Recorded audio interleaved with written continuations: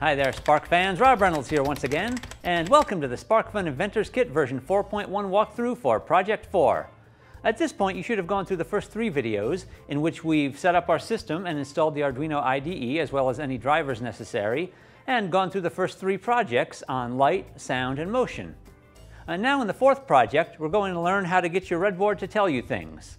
Now, voice synthesis is a little much for what we're doing here, so we're going to use the LCD or liquid crystal display.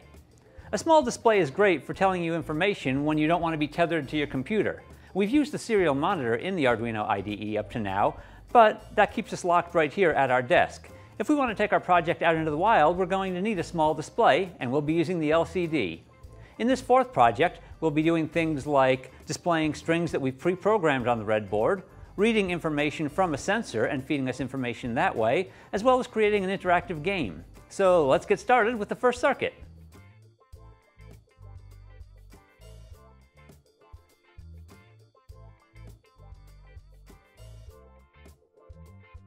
This first circuit will be our Hello World circuit. Usually in computer programming, when you begin a new language, the first thing you do is print Hello World. In our first circuit, we blinked an LED, which is the physical computing equivalent of Hello World. But since we're using a display now, we will print Hello World. For this circuit, you're going to need your liquid crystal display, your potentiometer once again, and 16 jumper wires. Follow along in your book or the online guide and let's get this circuit set up. I'll see you at the other side.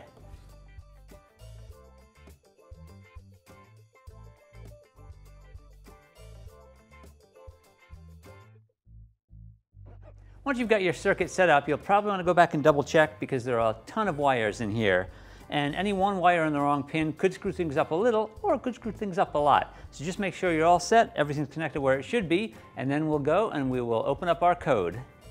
As with all the others, we'll go down to example, find your SIK guide code master, and now we're looking at circuit 4A, LCD Hello World. So there are a few things here that we can look at. You'll notice here we've included liquid crystal H, just like we did with servo, we had to include a library. This liquid crystal LCD gives it a name and tells it what pins we're using on the red board. LCD begin tells us that we've got 16 characters on two rows, and LCD clear clears the entire screen. Our loop is pretty straightforward. We set the cursor at 0, 0, that is our uppermost left position. We print hello world. Now below that, you can see we'll set the cursor at 0, 1, that 0 across, 1 down, and we will start printing milliseconds divided by 1,000, which will give us seconds. So let's plug in our breadboard, make sure that we've got our proper board and our proper port, and then upload our code and see what happens. Now once you're uploaded, you may not see anything. That's what the blue potentiometer is for. You can adjust that until you get your display. You should see Hello World across the top line, and the bottom should be counting the seconds since the program started running. So for this first circuit, that's pretty much it. We've told it what to say, we're counting the seconds going by, pretty straightforward. And as you can see, it's simply four lines of code in our loop. But let's dig in a little deeper and try and get it to read sensor data.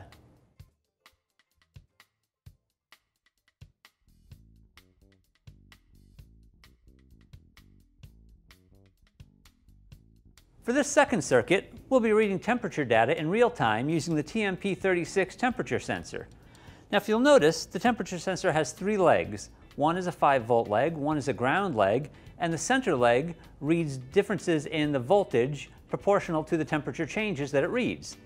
So we'll be using that along with three jumper wires and just adding those to the circuit we have currently. So let's set that up. Once we have our circuit set up, we can open the code and take a look at that to see what it's doing. You'll find your file in the usual place under Examples, SIK Guide Code Master, and we'll open 4B Temperature Sensor. Let's look and see what we have here. We've included the library for liquid crystal and set the pin numbers as well as named it LCD. And here we've got floating point integers for voltage, degrees Celsius, and degrees Fahrenheit. Under setup, LCD begin tells us the size, and LCD clear clears it. Now here under loop, we've got voltage equals analog read A0, which is your pin from your temperature sensor. And we're taking that and multiplying it by 0.004882, et cetera, et cetera, et cetera. The way we came up with that is we're dividing 5 volts by the number of samples the analog pin can read, in this case 1024. So we get 5 divided by 1024, or 0.00488, et cetera, et cetera, et cetera. So here under degrees Celsius, we take that, do a little quick math, multiply it by 100, and that gives us our degrees Celsius. And then, of course, to define degrees in Fahrenheit, we take Celsius, multiply it by 9 fifths, and add 32. Once that's done again, we clear the LCD, we set our cursor at the top of the first row, we print degrees Celsius and the degrees. Now you'll notice here our string is in double quotes and our integer isn't. Same thing here, we set 0, 1, so 0 across, 1 down. Degrees in Fahrenheit is a string, so that is in quotes. Degrees F, which is an integer, or a float in this case, is not and then we delay 1,000 milliseconds or one second. So it will update the temperature every second. Let's upload this and see what we get. Once your code is up and running, you should see on the top line your degrees displayed in Celsius, and on the bottom your degrees displayed in Fahrenheit. And of course, you can add a heatalizer to it and watch the temperature change. There it goes.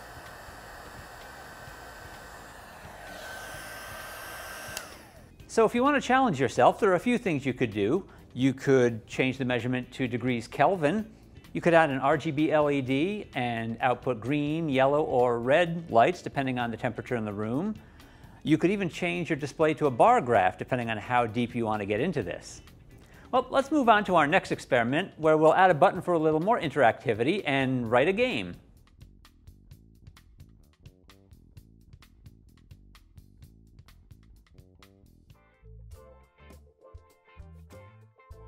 In this third and final circuit in Project 4, we'll be building a DIY Who Am I game based on the Headbands game or the Heads Up app. Basically, you'll hold the LCD up in front of your forehead. A word will pop up along with a timer. Your friends will give you clues and you have to try to guess the word. If you do, before the timer runs out, you'll push the button, a new word will be displayed, and the timer will reset to zero. And if you get through all 25 words, it plays the victory song and says, You win! Otherwise, it says game over and plays the defeat song. So for this circuit, we'll be getting rid of the temperature sensor. We will be adding our buzzer, a push button. We'll only need to add one jumper wire to our current circuit, bringing our total up to 20. We're also going to add our battery holder, giving us true mobility, and you'll need some of your dual lock tape to affix it to the back of the baseboard. Now, a word of warning before you build the circuit, you will need to power down. Always power down your circuit between assembly and disassembly, otherwise you risk damaging your components. You'll also need some batteries. For those, you're on your own. So let's start.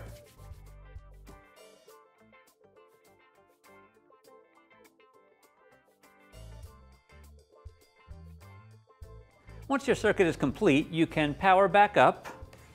You may get some crazy readings on your LCD. Let's see. Looks like it's 400 degrees Celsius here in this room currently without the temperature sensor. Don't worry about that. Once that's powered up, we can upload our code and take a look at that. You'll find your example in the usual place, SIK Guide Code Master. And for this, Circuit 4C DIY Who Am I? Now there's a lot going on in this code, so let's take a quick look at some of it.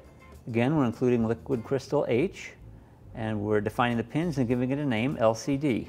We've got our button pin defined as pin 2, our buzzer pin as pin 6, and our button press time as 0. This is going to give us our time between button presses. You can see our time limit at 15,000 milliseconds. That gives us 15 seconds. Our start time will be 0. We're using round number here at 0 and an array size of 25, and that will match the number of words here in our array. Setting our initial sequence to all zeros. In our setup, we're setting up our button pin to input, our LCD screen like we have previously. We're using a couple of functions here, generate random order and show start sequence. In our loop, we're going through our array. We'll be rounding our numbers, we'll be printing our names, and then if you finish all 25, we've got winner here, and there's a winner function. So some of our functions down here, we show the start sequence, we clear our LCD, We give a category. In our case, our category will be animals because that's what we've programmed in. It'll print get ready. We'll count down three seconds, and then it will start. Here, we're generating a random order. This will give a random order to the names or the words in our array. We'll print one. If you guess it correctly, you push the button, it will go to the next one. Here we've got our game over function. This is what happens if you don't guess all 25. It will print your score. The buzzer will play the losing foghorn sound. And that will be it, and then it will just wait there. Now here's our winner function. If you win here, it will clear and set, print you win. And then it will give the one up noise. And again, then it will go to this while true statement, which will just hold it here. So let's make sure that we are proper board and proper port. And let's upload our code and see what happens. So once your code uploads, here's what you should see. You should get a category, and it should say animals, and it will say get ready, and it'll give you a three second countdown. And there it will give you the name of an animal, and you'll see your countdown timer in the lower left-hand side of the screen. Now your friends will yell hints out at you. It charges you. They run them in Spain. Bull, yes. Push the button. It gives you another, another animal, and it resets the countdown timer to 15 seconds. It will count down while you try to guess something that we have 35 of here at SparkFun. Oh, dog, yes. Hit the button and this will keep going. If you get through all 25 words in the array, you've won, and it will play the winning sound. But if you don't, and the countdown timer gets all the way down, uh-oh, three, two, one. It plays the losing sound, and the game is over. Now, currently the game is not programmed to reset with this button, but you can reset it by hitting the reset button on your red board. So once you've tested it and make sure it works with your USB cable, you can unplug that, plug in your battery pack, and everything should work just as it was before. So if you want to challenge yourself a little with the code in this circuit, you could change the time limit, pull it from 15 seconds down to 10 or 5. How smart are your friends? Another thing you could do is just change the array. Use different words, different category, whatever you want. Or you could change the winning and losing songs because we've done that before. Those are some of the options. Now, I talked earlier about using different characters, and I want to show you, another, show you another game that's possible to be done on this. This is bonus footage, by the way. It's not in any guide.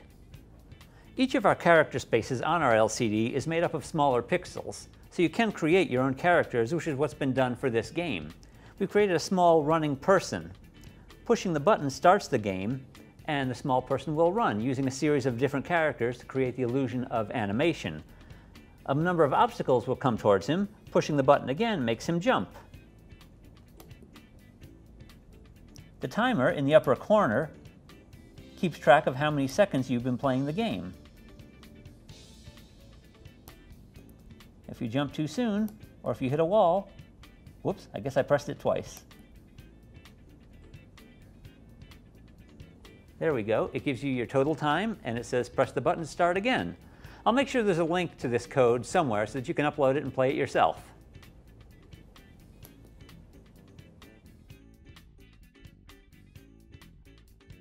Congratulations, you've completed the three circuits in Project 4. When we come back for Project 5, we'll be building our first robot, learning how to control it, and learning how to have it control itself. Happy hacking, friends!